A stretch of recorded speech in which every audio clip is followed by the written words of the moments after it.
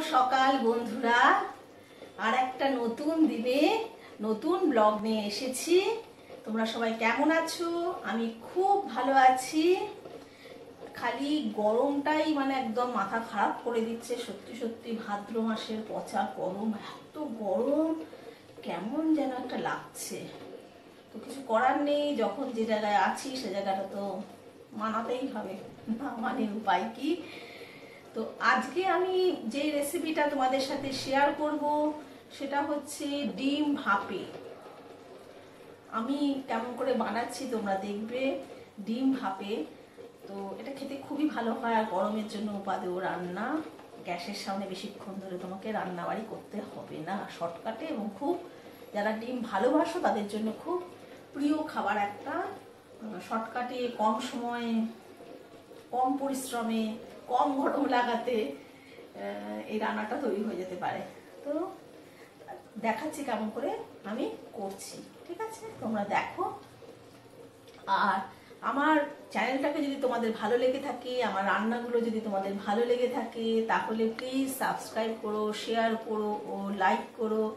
Subscribe করে bell আইকনটা টিপে দিও, তাহলে আমার যে কটা ভিডিও হবে সেগুলো তোমরা সঙ্গে সঙ্গে তোমাদের কাছে নোটিফিকেশান চলে যাবে, তোমরা দেখতে পারবে আমার রান্নাগুলো। আর যদি আমার রান্না ভালো লেগে থাকে, তাহলে বেশি বেশি বেশি করে শেয়ার করো, ঠিক আছে? আর আমার আমার কাছে কিছু যদি তোমরা দেখতে চাও, নতুন কোনো রান্না তাহলে প্লিজ কমেন্ট বক্সে জানিও, আমি চেষ্টা করব দেখাতে। আমার মতো করে আমি কেমন করে বানাই, সেভাবে দেখাবার চেষ্টা করব, ঠিক আছে? চলো তাহলে রান্নাটা শুরু করি। আজকে আমি ডিম ভাপা বানাবো। তো তার জন্য আগে মশলাটা রেডি করব। আমি সর্ষে, লঙ্কা, নুন, একটুখানি মিষ্টি আর হলুদ দিয়ে পিষে নেব। আমি সর্ষে একটু বেশি পরিমাণে পিষে রাখি, তোমাদের আগে বলেছি। তো এখানে যতটা পিষেছি, তার মধ্যে বেশিরভাগটাই আমি ফ্রিজে ডিপ ফ্রিজে স্টোর করে রাখব, একটা বাটিতে ঢেলে নিয়ে। দেখো মাত্র দু চামচের মতো রেখে আর বাদ বাকি সব আমি টিফিন বক্সে এয়ারটাইট ইয়েতে বাক্সতে রেখে এটা আমি ডিপ ফ্রিজে রেখে দেব। এবারে এই মশলাটার সঙ্গে আমি ডিম ভাপার মশলাটা পুরোটা বানাবো। সর্ষে পোস্ত সর্ষে পোস্ত নেই সরি সর্ষে, কাঁচা লঙ্কা, নুন, হলুদ, মিষ্টি দিয়ে পিষে রেখেছি ওটা। এর মধ্যে এবার দেখো আমি এই যে নারকোলটা আমি ছাড়িয়ে রেখে দিয়েছিলাম স্টোর করেছিলাম, সেই নারকোলটাই এখন আবার আমার কাজে লেগে যাচ্ছে। নারকোলটা আমি গ্রেট করে নিলাম, এই সর্ষের সঙ্গে পিসবো বলে। তো আমি নারকোলটা কুচি কুচি করে দিলেও হতো, কিন্তু আমি গ্রেট করছি এই কারণেই যাতে একবারই মিক্সিতে ঘোরালে ওটা পিষে যায় সর্ষের সাথে। আর সর্ষে বেশি পিষলে তেতো হয়ে যায়, তাই আমি যাতে নারকোলটা একবার ঘোরালেই পিষে যায় সেজন্য আমি এটা এর মধ্যে করলাম। তো নারকোলটা চার পাঁচ চামচ মতো আমি দিলাম এই চায়ের চামচে চার পাঁচ চামচ। এর মধ্যে আমি কাঁচা লঙ্কা দেবো তিনটে। কেন কি ওই সর্ষে কাঁচা লঙ্কা পেস্টটা তো বেশিরভাগটাই আমি স্টোর করে দিয়েছি, তাই এটাতে লঙ্কা কম হবে। তো আমি ঝাল কম হবে, ওই জন্য আমি তিনটে কাঁচা লঙ্কা দিয়ে দিলাম। তোমরা তোমাদের আন্দাজ মতো ঝাল দিও, আমরা একটু ঝাল খেতে ভালোবাসি, তাই ঝাল দিলাম। নুন দিলাম আর মিষ্টি দেব। মিষ্টি চার চামচের এক চামচ দেব। এই কারণেই মিষ্টিটা দেব যে আমি এই পেস্টটার সঙ্গে টক দই মেশাবো। তো টক দই মেশালে ওই টকের ইয়েটা ব্যালেন্স করার জন্য আমি একটুখানি চিনি দিলাম। তো দু চায়ের চামচ আমি টক দই দিলাম। এবারে পুরো জিনিসটা আমি পিষে নেব মিক্সিতে। পিষে নিয়ে তারপরে আমি তোমাদেরকে দেখাচ্ছি। দেখো, এটা পেশা হয়ে গেছে। এবারে কড়াই, আমি অন্যদিকে ডিম সেদ্ধ করে রেখেছি, চারটে ডিমের আমি বানাবো। কড়াইতে আমি তেল দিয়ে এর মধ্যে নুন, হলুদ দিয়ে দিয়েছি, আর ডিম সেদ্ধগুলোকে আমি খোসা ছাড়িয়ে অর্ধেক অর্ধেক করে কেটে নিয়েছি। আমি মাইক্রোওভেনে বানাবো, গোটা ডিম করছি না, অর্ধেক করে করছি কারণ গোটা ডিম মাইক্রোওভেনে করলে অসুবিধা আছে, ফেটে যেতে পারে সেই জন্য আমি অর্ধেক করে করছি। আর অর্ধেক করে করলেই টেস্ট বেশি ভালো হয়, ভেতরে পুরো জুসটা ঢোকে। তোমরা যদি কড়াইতেও করো ভাপে, তাহলেও কিন্তু অর্ধেক করেই করো, তাহলে এমনি টেস্ট পাবে, এত ভালো টেস্ট আসবে। তো মাইক্রোওভেনে বাটির মধ্যে আমি মশলাটা দিয়ে দিলাম, আর ওর মধ্যে আমি খানিকটা সর্ষের তেল দিয়ে দিলাম।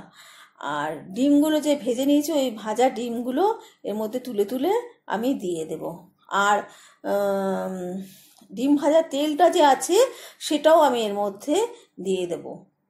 তাহলে ডিমের গন্ধ পুরো এর মধ্যে চলে আসবে।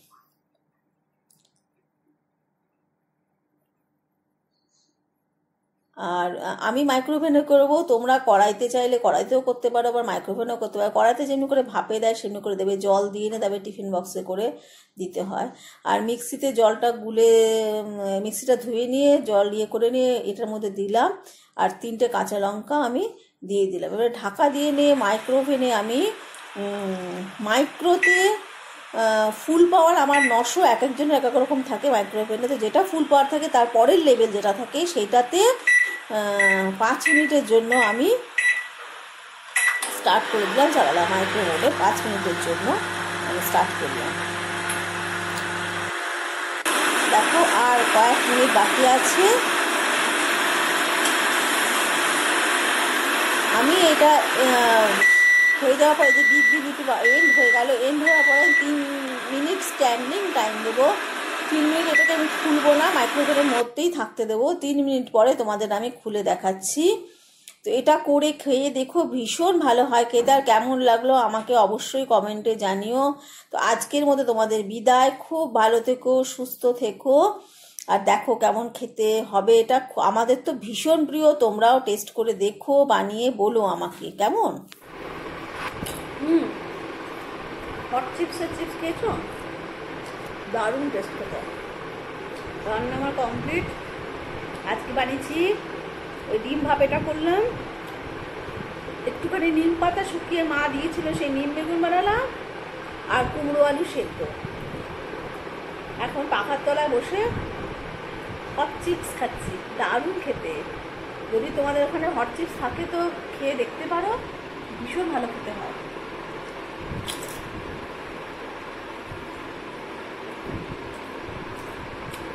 মাটিতে বিছানা করেছি, জানো? বাইরে ঘরে এখন এখন কত সোফাটা দিল্লির বাড়িতে ছিল, সেটা এখন গেছে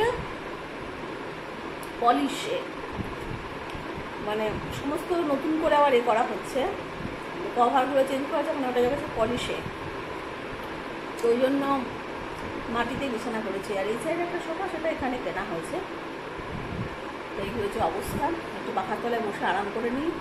মেয়ে এক বাথরুমে বড় এক বাথরুমে স্নানে গেছে, ওরা আসলে তারপরে খাবার জোগাড় হবে।